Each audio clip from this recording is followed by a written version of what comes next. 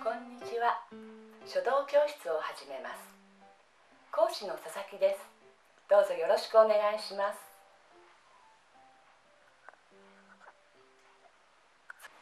それではお道具の準備をしましょう。綴りの向きはくぼんだ方を向こう側に置きここに墨を入れます。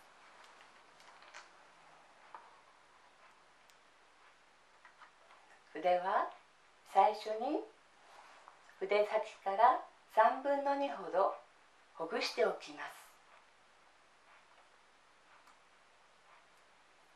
筆の持ち方は人差し指と中指2本かけて親指を添えてここを開けます。筆を立てて肘を上げます。小筆はここはほぐしません。持ち方は人差し指と親指をかけ。後の指は揃えます。ここを開けて持ちます。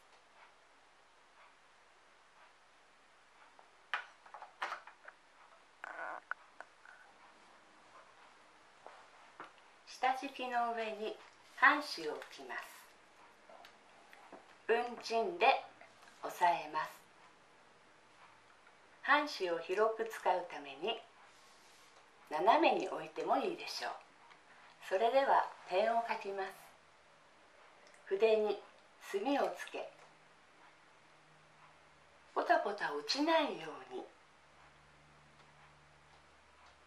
こうして調整をします。横でも下でも穂先を整えて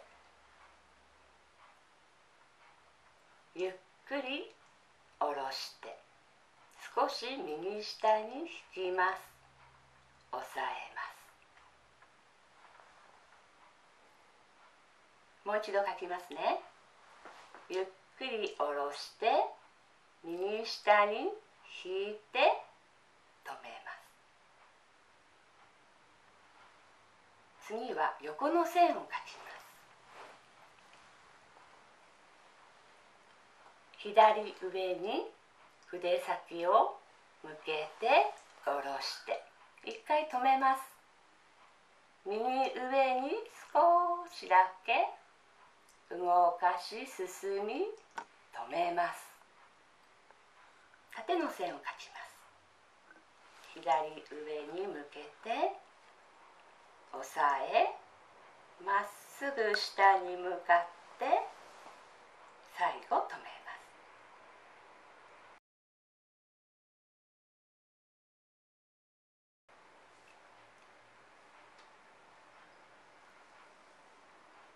止め左に静かに穂先を整えるように跳ねていきます。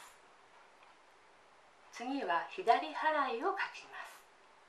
穂先を上の方に向け押さえ左に静かに払っていきます。右払いを書きます。